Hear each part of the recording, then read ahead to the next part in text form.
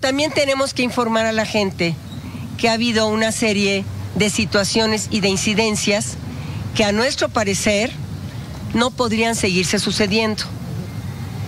Por ello, tenemos que seguirle diciendo a la gente que este movimiento seguirá contribuyendo siempre y cuando no se ponga en riesgo un proceso democrático, legal, transparente y apegado al acuerdo que firmaron y que signaron las y los aspirantes en junio de este año. Una jornada de más de 18 horas en donde ha estado todo el equipo, el equipo también de los otros representantes.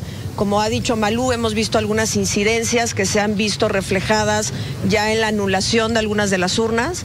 Algunas de estas incidencias son pues que no hace match eh, las secciones con los folios de las urnas, eh, urnas que llegan sin actas, urnas que llegan de manera incompleta, es decir, hay una urna que debería de traer 10 boletas, trae 4, trae 5, pero el del talonario están desprendidas el resto de las, de las boletas, eh, las bolsas de seguridad tampoco hacen eh, match con los, eh, con los folios de las urnas, Tenemos, hemos tenido casos también donde solamente el levantamiento se hizo con el coordinador e, y el encuestador y el representante de la persona que propuso la casa encuestadora.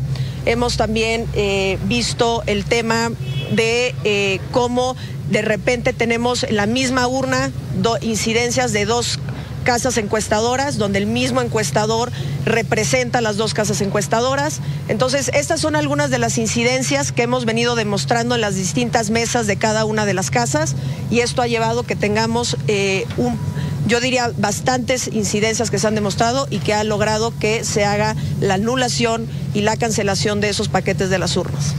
Estábamos preparados para esta situación, pero estamos sorprendidos de las incidencias que han existido.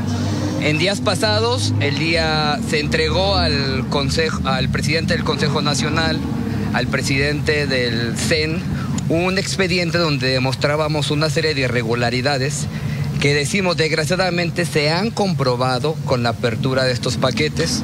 Por ejemplo, hemos demostrado que había compañeras y compañeros que conocían previamente las secciones y hubo volanteo previo a esas secciones, lo cual pues anula todo el proceso democrático. ¿Qué ha dicho siempre el compañero Marcelo? Él quiere que la gente decida y él quiere que se respete la decisión de la gente. Es lo que estamos abonando a ello.